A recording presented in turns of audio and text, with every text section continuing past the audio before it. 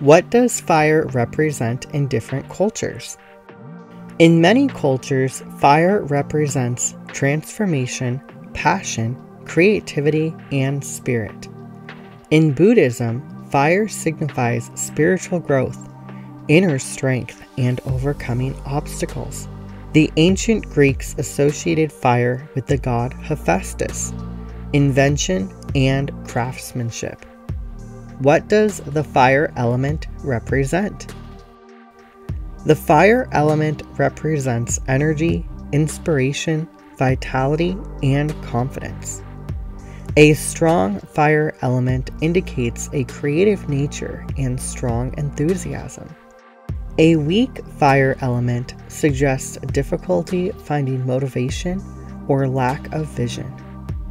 A fire water bond represents emotional depth and intuition, while a fire earth bond signifies drive, ambition, and achieving success.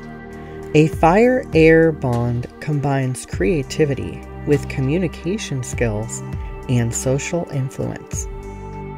How do I embrace the fire element?